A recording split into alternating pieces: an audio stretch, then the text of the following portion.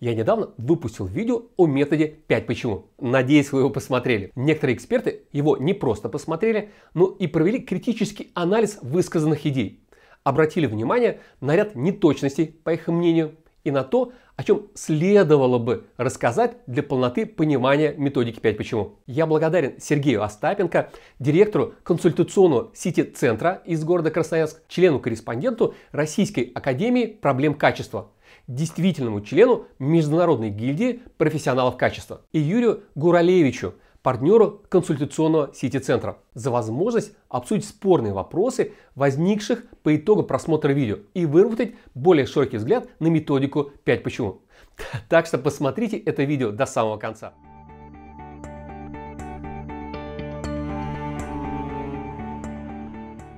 Всем лина. Я Сергей Лити, эксперт в области анализа производственных систем. Прошу вас поддержать канал Лити Про, подпишитесь, поставьте лайк и сделайте репост этому видео. Напишите в комментариях, как вам такой формат обсуждения определенных тем с экспертами и стоит ли его развивать. А, добрый день, коллеги и, может быть, наши зрители или слушатели.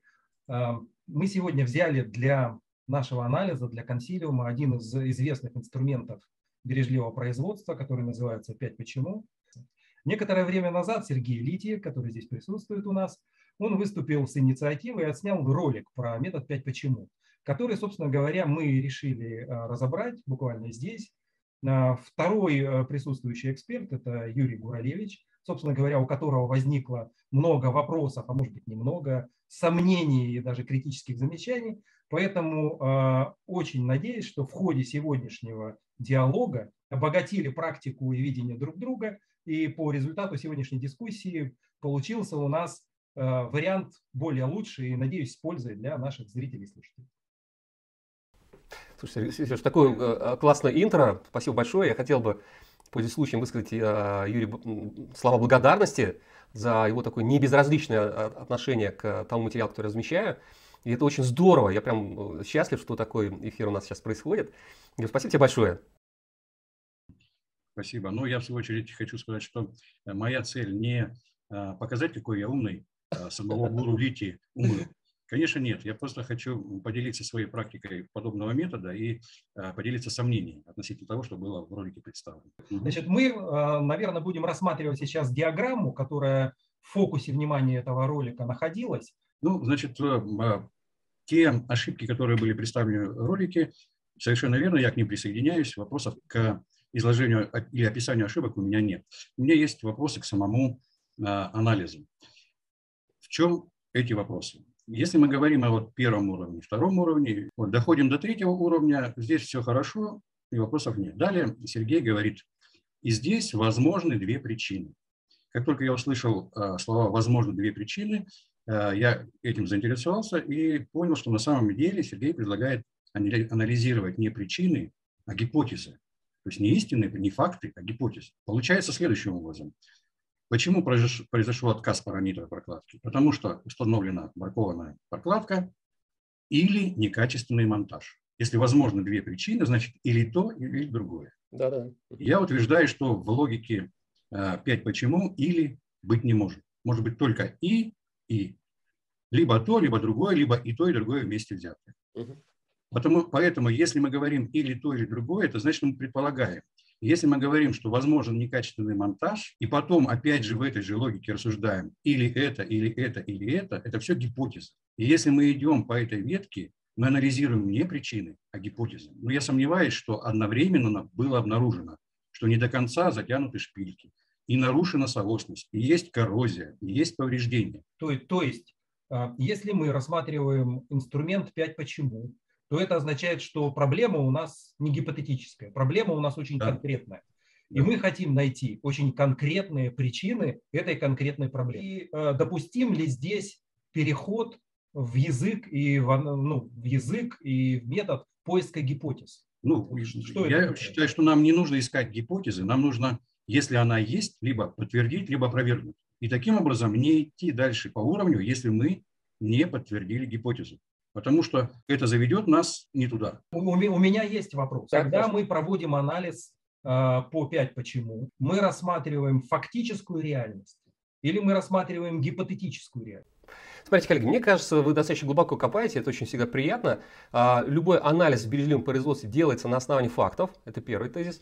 Второй, смотрите, а, если мы рассмотрим отдельный случай, отдельный случай, вот поломку конкретного какого-то насоса, одного насоса, да, то, конечно, у нас э, нет альтернативности. Но если мы рассматриваем, а, предположим, множество случаев там, за какой-то период, да, у нас же поломки такого рода, они могут быть не единичные случаи, а множество случаев может быть. Вот мы, например, проанализировали с командой причины э, случаев за, там, не знаю, за 3 месяца. Предположим, вот проект идет исследовательский 3 месяца, и посмотреть, какие э, поломки были. Нету правильных и неправильных методов. Важно, к чему пришла команда.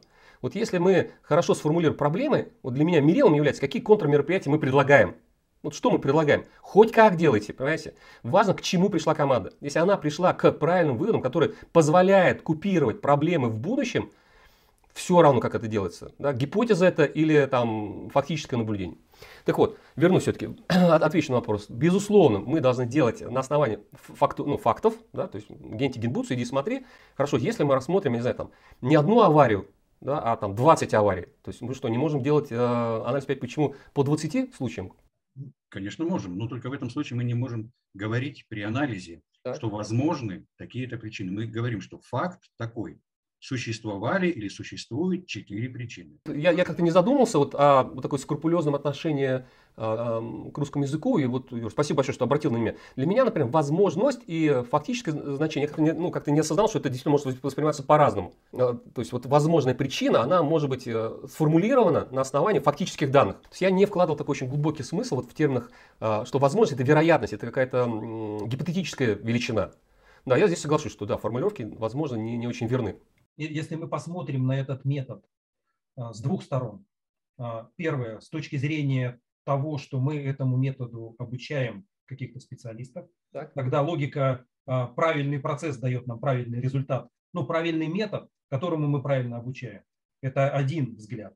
А второй так. взгляд, мы должны смотреть на этот метод тоже с точки зрения эффективности. Это дерево э, или эти корни, они достаточно ну, не широкие, вот. А возможно же и гораздо шире. Если мы это используем как э, дерево корней, с которыми придется потом работать, если мы не думаем, ну, не включаем вот этот вот внутренний механизм э, факт или гипотеза, то мы перед собой имеем огромный пул гипотез. Ведь что такое гипотеза? Гипотеза – это высказанное предположение на основании эмпирического опыта, понимаешь? То есть я как профессионал имею право генерировать гипотезы, и ничего в этом смертельно плохого я не вижу. Если вот мы с тобой будем про паранитовые прокладки формулировать гипотезы, наверное, это не очень хорошо. Но если это генерирует механик, который там, не знаю, 15 лет проработал, что в этом является патологичным, опасным или, я не знаю, там, глупым? Что? Разве кто-то убирал понятие профессиональная интуиция, опыт? Нет, ну тогда это, это не гипотеза, это факт. Тогда механик, который 15 лет работает, говорит, я знаю, что произошло это поэтому. Мы принимаем это за факт и идем дальше. Юр, абсолютно с этим согласен, да. Ну и дальше у меня есть тоже вопросы. Пожалуйста. Ну как, вопросы не вопросы. Здесь уже вопрос не в том, что что-то не так, а э, скорее предложение. Хорошо. Ну, например, корень нашли, производственная инструкция не содержит порядок монтажа. Угу, да. Я бы при э, достижении корня задал вопрос, а если бы была инструкция, то слесарей бы обучали? Для меня это не очевидно. Скорее всего, это не связанные вещи. Инструкция и обучение. Поэтому я бы производственную инструкцию и обучение слесарей поставил в один ряд. Даже ну, да, во-первых, ну, методологически я могу согласиться здесь. Mm-hmm. Ну, не нужно ограничивать себя вот этим корнем. Что значит? Мы корень смотрим, все остальное что, забываем, что ли? Да нет, конечно. Мы можем использовать ну, всю пирамиду, которая вот все, что выше есть. Конечно, мы должны это учитывать. Да, и, например, э, ну, создание инструкций, да, и это не значит, что, мы создали инструкцию, дальше мы не двигаемся, не, не можем формулировать организационные технические мероприятия, связанные с то, со всем, что выше находится. А, вот этот пример приведен. Но там, конечно, никого ничему не обучают, пока инструкции нету. То есть там нет такого, ну, как сказать, это высок... организация с очень высокой культурой правил, вот, и там стандартизация является основой деятельности. Поэтому там пока нет в инструкции, этому не будет обучать. А, какая ремарка у меня есть? Я вот всем слушателям, кто будет смотреть, хотел бы вот на что обратить внимание. А, помните, пожалуйста, вот 5 почему, дерево текущей реальности, там, грозовая туча, не знаю, там все другие диаграммы и шикавы, это все является инструментом а, ментального сознания, поэтому их называют ментальные карты, мыслительных карт, можно сказать.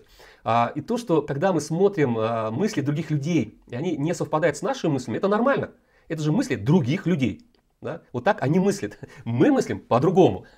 И часто, когда я показываю, как пример, дерево текущей реальности, дерево 5, почему каким-то другим людям там, в процессе обучения, говорят, ну а мы бы построили по-другому. Я говорю, замечательно, так и должно быть. Любое копирование карается по закону здравого смысла. И я всех, вот, кто будет пробовать этот инструмент, не бойтесь, делайте, делайте, ищите свой стиль, ошибайтесь. Не, не, не, не абсолютизируйте мне никакого человека, ни меня, там, ни Юру, ни, ни Сергея. Э, только собственный опыт вам поможет э, наработать э, свои методологические какие-то навыки, набить руку. Еще это не все. У меня есть еще два да, да, да. замечания и одно предложение. Хорошо. А, формулировка «некачественный монтаж». По-моему, это то же самое, что поломка насоса, если было. Я согласен, да, звучит действительно как, как, как, как симптом, да, причем как жалоба. Формулировка не соответствует критериям проверки логических построений.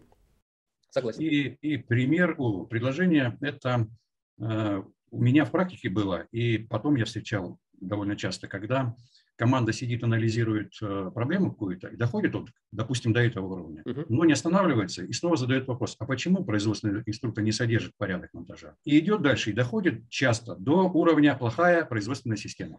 В это утыкается, и все проблемы приходят к этим корням. Поэтому мне бы хотелось чтобы а, было, была какая-то методическая подсказка, как не уходить вот в эту вот область, где нужно остановиться. Вот видео это нет. Предельным уровнем, а, предельный уровень начинает а, определяться, когда на самом деле идет обратная величина. Вот когда мы структурируем, мы от симптомов идем к истинным проблемам, потом к первопричинам, а потом, на самом деле, как бы не задумались, да, мы начинаем опять уходить в абстракцию или к симптомам. Этот шаг, на самом деле, нас от истинной проблемы он уводит. Он, наоборот, уводит в сторону там, симптомов типа обвинения там, или опять-таки каких-то раздражителей. Да, почему, значит, э, там, э, э, инженерно-технический состав не думал о необходимости включения? Да, потому что там система менеджмента плохая. Для меня самым главным мерилом хорошо сформулированного и структурированных проблем, ну, любым образом, который есть, это на какие мероприятия мы, мы выводим, на какие контрдействия нас это выводит. То есть вот прям понимаешь, что вот раз дошли до уровня, ты понимаешь, ага, вот, например, инструкция не содержит а, порядок работы, значит, порядок монтажа. И ты понимаешь, что у тебя очень хорошее, может быть, мероприятие, контрмероприятие, да, там, ага, разработать инструкцию с учетом там монтажа, значит, вот этой прокладки паранитовой. И ты понимаешь, что это действительно разумное мероприятие, да, что ты, реализовав его, существенно продвинешься с точки зрения а, качества работы, снижения вот, негативных последствий. Формулировка проблем позволяет нам выйти на конкретные организационно-технические мероприятия. Это мы понимаем. Вот если посмотреть все уровни выше, вот смотрите, там, например, некачественный монтаж паранитовой прокладки. Ага, какое контрмероприятие можем предложить? Ну, никакой, очевидно, да? Ну, да, ну, как-то там, какие-то абстракции можем предложить, там, надо качественно, да, хорошо, ниже спускаемся. Есть коррозия вместе контакта с паранитовой прокладкой. Ну, здесь мы что-то можем, типа, там, зачищать, но это настолько мелко, мы понимаем, что нет, это не, не, не, не, ну, не можем мы предложить реально хорошее э, организационно-техническое мероприятие, контрдействие какое-то. Ниже спускаемся. Слесари не владеет навыками.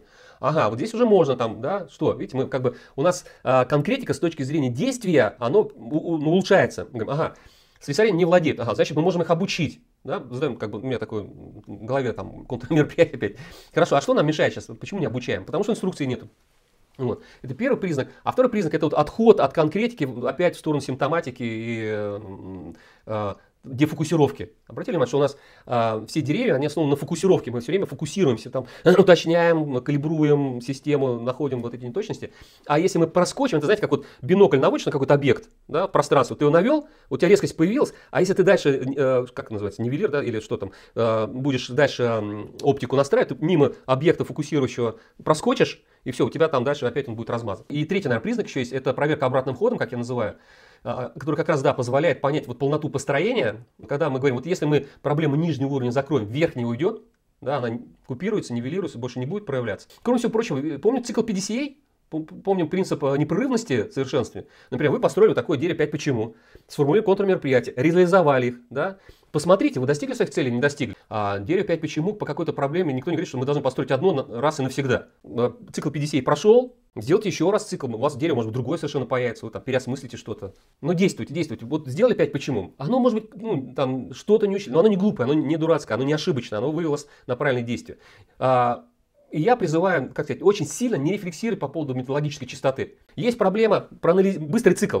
Проанализировали, попробовали реализовать, посмотрели, что получилось, проанализировали. Вот, ну, цикл 50 сейчас, э, мне кажется, э, имеет существенную тенденцию к ускорению. Ну вот у меня по поводу остановки в методе 5 почему есть э, свой инструмент, или как назвать, в общем, свой ограничитель. Это я останавливаюсь, когда на вопрос «почему» мы выходим за границы процесса, то есть за, за своей границей. Как только мы выходим, здесь следует остановиться и подумать, действительно ли это не наша проблема. Чаще всего все-таки это наша проблема, и тогда мы прекращаем дальнейший анализ.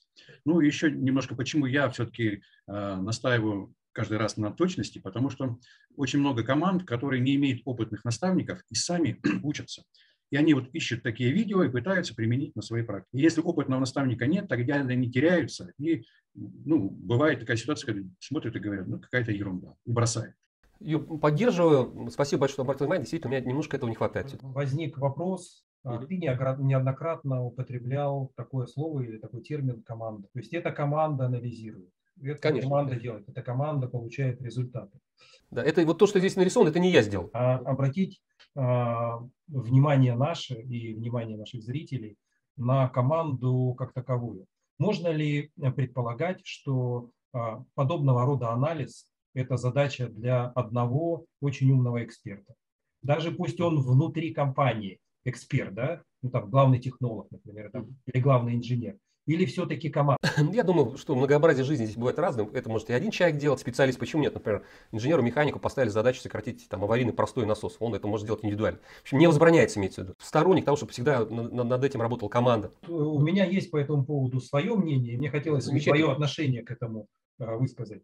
А, вот у нас есть команда проекта, и у нас есть какая-то проблема, которая, как правило, процессна. Может так случиться, что буквально а, команда проекта Э, не понимает глубоко этот процесс. А нам необходимо провести анализ. И вот мы, э, как организаторы или те, кто ведет этот проект, мы, по большому счету, не имеем права приступить, с моей точки зрения, к анализу 5 почему, если мы в эту группу анализа, назовем ее не командой, да, группу анализа, не включаем, кто непосредственно участвует в этом процессе, не включаем того, кто влияет на этот процесс, не включаем того, кто получает результат этого процесса и не включаем того, кто управляет. Анализ почему запускает э, команда проекта, вовлекая в эту работу э, всех э, значимых лиц, стейкхолдеров вот этой задачи. Да. А давайте подведем, мне кажется, пришло время подвести результаты наш, ага. нашей, нашей дискуссии. Да, давайте. А, есть ли приращение? У меня один простой вопрос. Ну, безусловно, приращение есть всегда. В общении есть обогащение друг друга. Ну, я получил приращение. Не знаю, как Сергей. Я очередной раз хотел выразить благодарность, Юрий. И, знаешь, для меня а, по итогу нашей встречи есть несколько очень предметных выводов, которые я себе ну, как бы в голове сделал отметку. Обязательно буду на это обращать внимание. А, во-первых, более четкое, скрупулезное отношение к формулировкам, потому что у меня есть такая методологическая вольность, а, ну, типа там гипотезы, да, и факты. Я считаю, это очень важное замечание было. А, и видео, вот этот контекст, который я потом раскрыл, он же не виден. Вот в чем еще беда. Когда вы меня спросили, да, я вам рассказал, и как бы, ну, понятно стало, да, там, почему так. Да, да, да. Вот, поэтому я считаю, что это очень-очень важное замечание было. Спасибо большое, что обратил на это внимание. Это первый. А, второй факт, это, как сказать, вот когда беседуешь с людьми, да, как-то с умными, а, достойными, ты как-то в чем-то убеждаешься, что ты делаешь правильно, и это, я считаю, тоже важным итогом. Вот я сказал о том, что в чем мне нужно доработать, но были какие-то моменты, в которых я еще раз убедился, что я, в общем-то, не, не самый плохой эксперт, что я что-то понимаю. И да, и вот это а, подтверждение тоже очень важно. И временами получать экспертом. И, и Сергей, спасибо вам большое. То есть вот два значимых у меня таких момента, на которые хотел бы обратить внимание.